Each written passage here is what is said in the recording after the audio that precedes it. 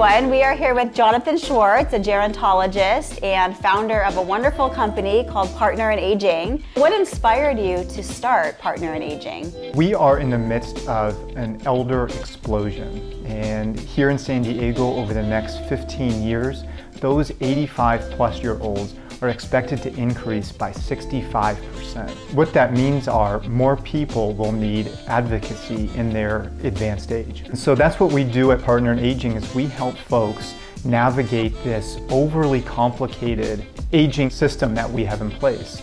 We can help people who are interested in aging at home.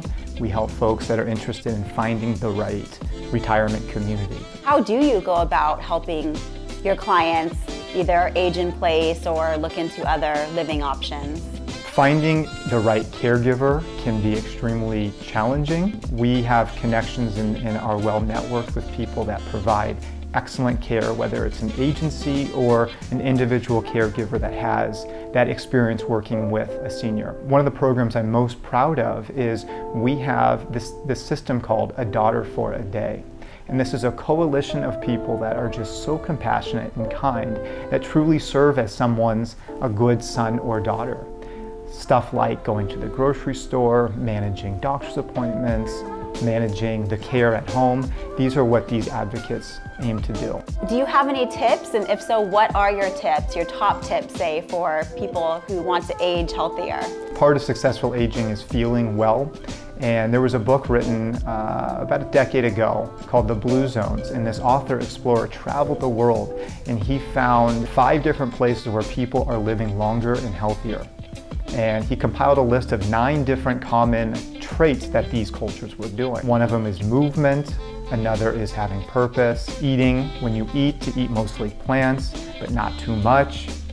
Another one that I really like that these cultures embrace is drinking wine being connected to some spirituality, some religion, and loving your family uh, first. We have a perception problem when it comes to aging in our society.